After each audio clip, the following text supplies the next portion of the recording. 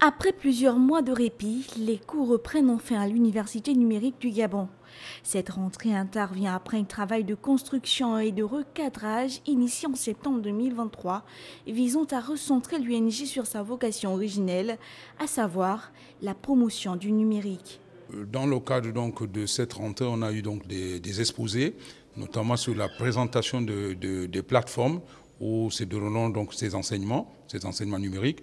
On a eu aussi donc des présentations des responsables des pôles sur les différentes offres de formation que l'université numérique offre aux, apprenants. Grâce à la numérisation, les plateformes en ligne, les bibliothèques numériques et les cours en ligne permettent aux étudiants d'accéder à des ressources éducatives, quel que soit leur lieu de résidence. Reconnaître aussi les efforts du gouvernement qui a pu mettre quand même des espaces numériques ouverts.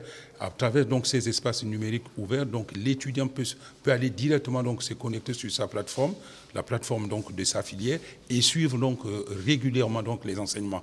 On n'est pas obligé, par exemple, vous avez donc un espace numérique à l'université Omar-Bongo, vous avez un autre à l'Institut de gestion, vous avez un autre à l'université des sciences de la santé. Donc pour les étudiants par exemple, qui sont au Vendo, ils peuvent directement aller sur cet espace numérique et suivre donc des enseignements. L'intégration du numérique dans l'éducation l'éducation enrichit l'expérience d'apprentissage, améliore l'efficacité pédagogique, ce qui, entre autres, favorise l'acquisition du savoir, l'innovation et l'employabilité.